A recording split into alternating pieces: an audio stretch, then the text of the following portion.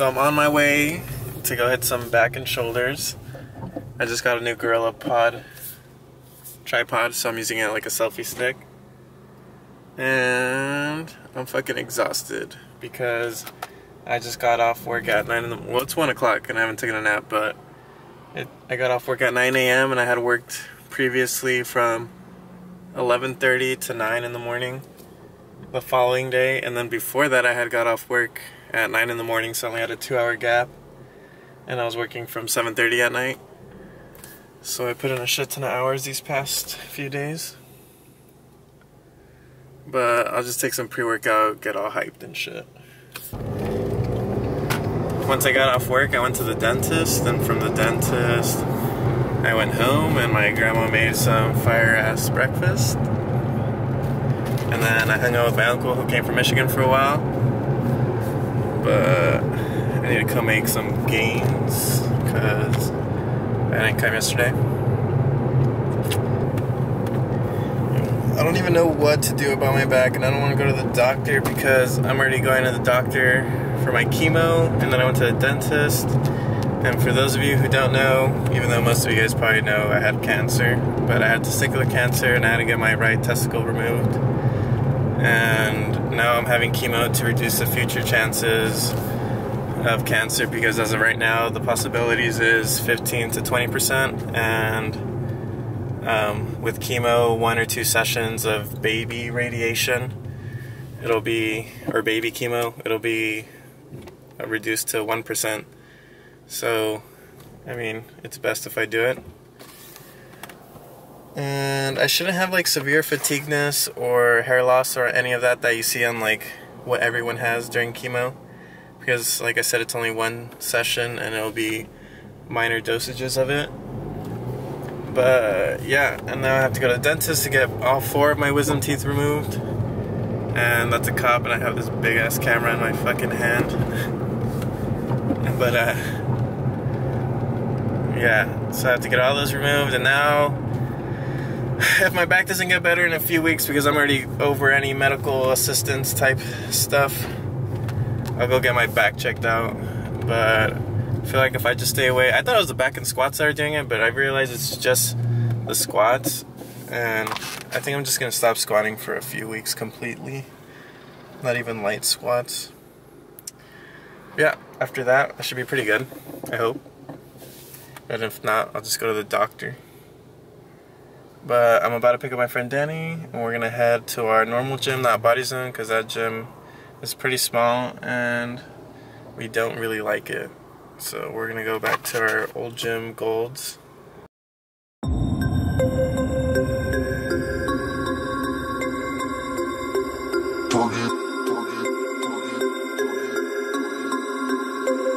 We about to turn it on.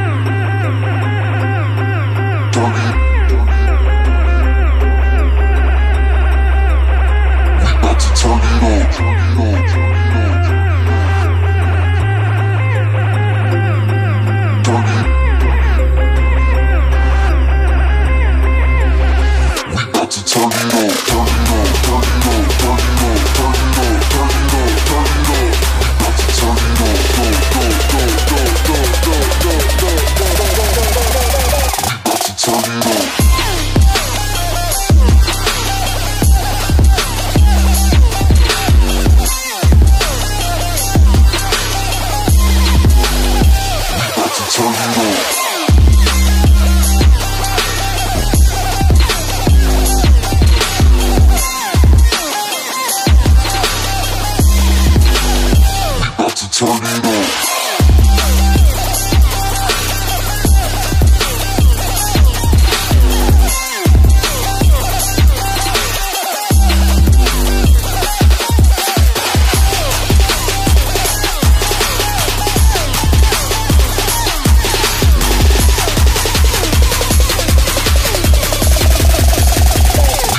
tornado.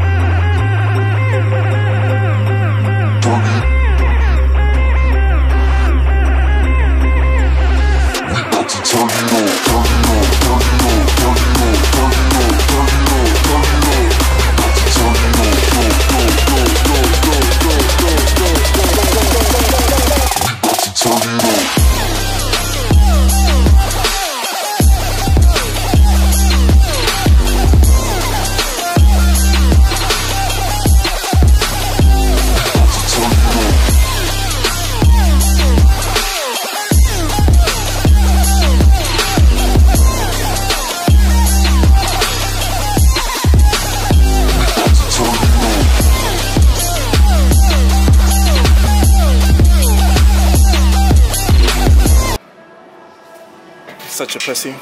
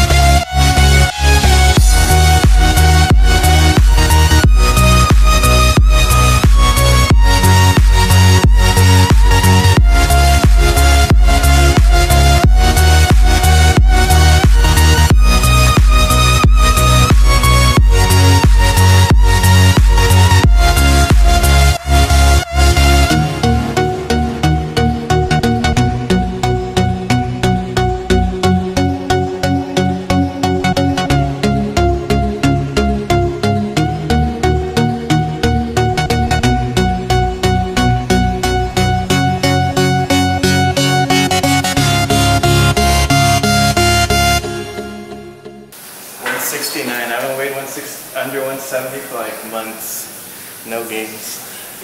So we're about to leave the gym, and we almost left right when we got here because Danny got his first blister. You can't even see it anymore, but it was bleeding at first. Let me first. see it. It's like healed up by now. I wonder Wait, wait, it's not focused. Oh. you can't see anything. Oh yeah. You know why? Cause it's a went- pussy blister, dude. I'm just kidding. You saw this shit. It was bleeding. I feel like Steve Cook, because that dude always has good hair, even when he's working out, after he's working out. And my hair looks pretty good, damn good still, so it's a good sign. But I'm fucking starving. I'm gonna see what I'm see. I left half my Cinnabon at home, so gains. Probably eat that, even though I shouldn't. But uh, it's the holidays. I can eat whatever I want right now. Yeah, I'm curious. What do white people eat for Christmas? Because like, all I see is on my Snapchat and stuff is tamales. Like, do you guys eat Thanksgiving food all over again, or what traditions do you guys have?